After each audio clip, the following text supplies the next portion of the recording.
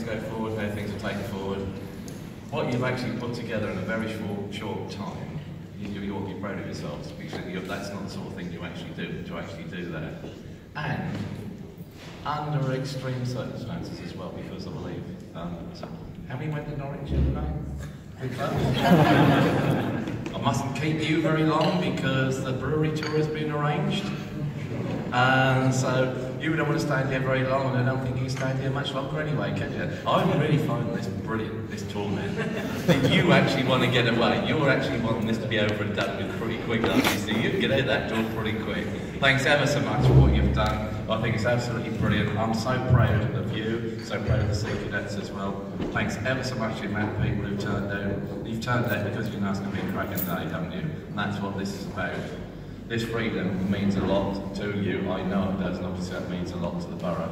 And thanks ever so much, it's a two-way thank you for bringing all these men down. The work you actually did the other day, I mentioned um, Elaine's just gone off with a mobile phone.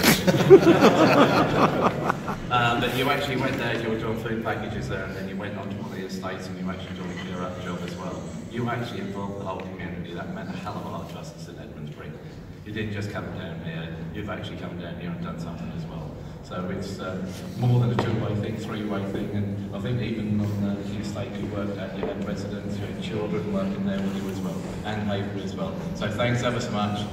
We're going to sort your scroll out, but um, you've got a few words to say now. What do you want? You can hand it over now, and then what? Hand it over, and now you can. I'll pass you the mic after you receive it. Cheers.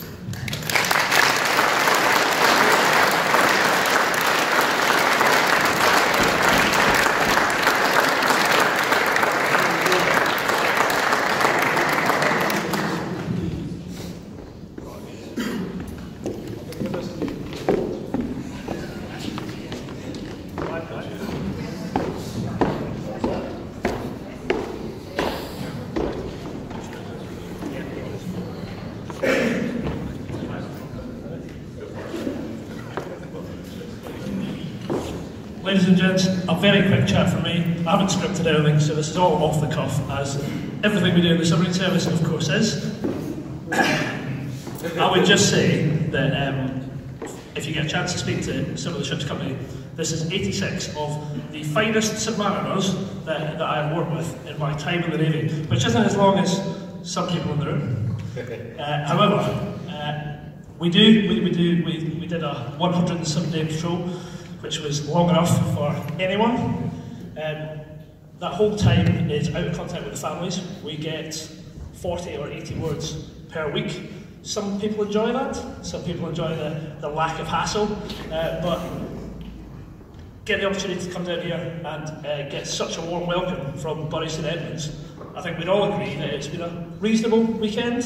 Yeah, Been a hell of a weekend. um, some incredible dance moves from the Swiss department who don't normally so, uh, socialise. Uh, Norwich runners prove there was more than that. Uh, amazing effort, well done. I hope you've had a good weekend. It's been a bit of a duty commitment, but a whole load of arrangements has, has been done in the background. Where are you, Ruth?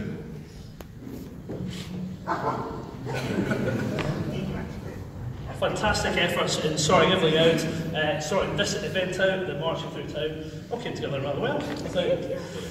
Uh, and uh, the, the, the, unfortunately, uh, the late councillor uh, uh, Tim Marks uh, had, a, had a considerable amount to do with arranging the, the relationship between Vengeance and Bury. Uh, his, uh, his good lady is here today, um, carrying on his good work once he passed on. So, massive thank you to her as well. Um, and of course, uh, where are you, Chief Allen? Oh, there he is. There he is. You've done the odd thing here and there as well. So thank, th thank you to you all for making us feel so welcome, uh, and hopefully we'll come back soon. Yeah, you better. well done, chaps. Thank you very much.